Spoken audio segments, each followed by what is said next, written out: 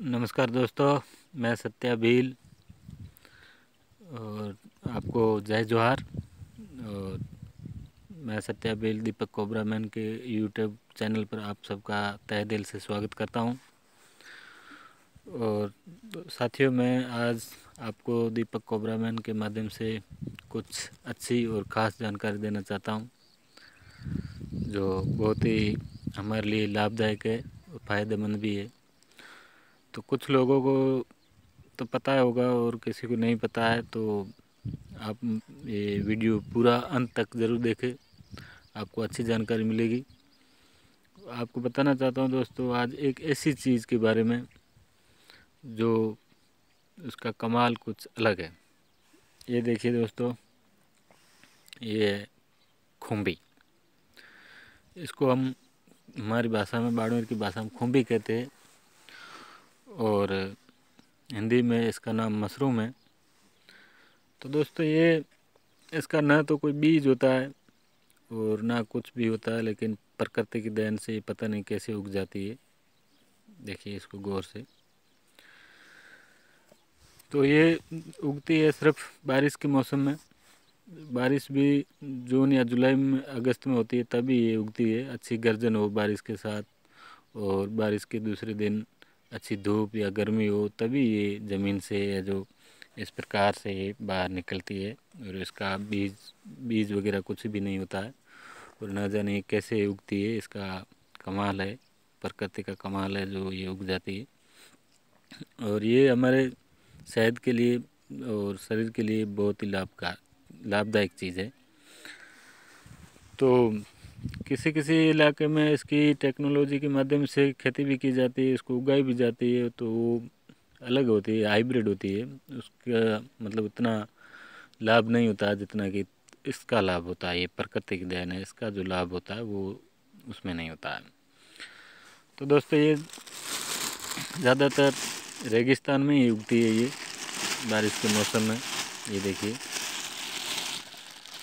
और रेगिस्तान बालू ज़मीन होती है जो वहीं पर ये उगती है। तो दोस्तों, उसके बारे में आपको बताना चाहता हूँ। इसकी सबसे पहले तो ये जब कच्ची होती है दो तीन दिन तक उगने के बाद में दो तीन दिन तक ये कच्ची रहती है। जैसे कि ये सब है, कच्ची है अभी, पकी हुई नहीं है। तो इसकी सब्ज़ी है जो, वो बहुत ही स्वादिष्ट बनती है, बहुत ही अच्छी सब्ज़ी बनती है इसकी। अगर देसी घी का तड़का लगा के सब्ज़ी इसकी बनाई जाए तो बहुत ही अच्छी सब्ज़ी होती है, बहुत ही स्वादिष्ट सब्ज़ी इसकी बनती है। और जब ये पक जाती है, पकने के बाद में इसके अंदर पाउडर बनता है, वो पाउडर होता है पीले कलर का।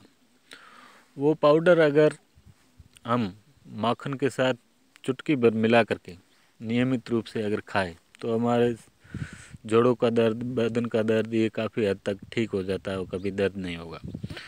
दूसरी बात है, इसका फ़ायदा ये है कि इसके आप पाउडर को अगर मतलब किसी इंसान की या पशु की हड्डी फ्रैक्चर हो जाती है क्रैक हो जाती है, टूट जाती है तो अगर उसको ये, इसका पाउडर है जो माखन के साथ मिला के खिलाने से, वो हड्डी जो जल्दी से जुड़ जाती है और वहाँ का दर्द भी है, वो भी बहुत ही कम होता है।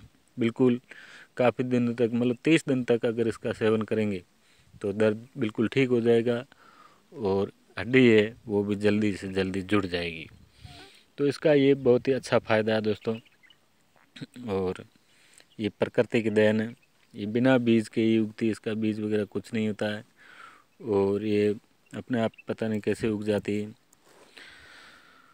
तो दोस्तों, बने रहे आप हमारे यूट्यूब चैनल के साथ, Deepak cobra man YouTube channel के साथ बने रहे जुड़े रहे आपको और भी अच्छी अच्छी जानकारियाँ मिलती रहेगी और हर प्रकार की आपको जानकारी मिलती रहेगी।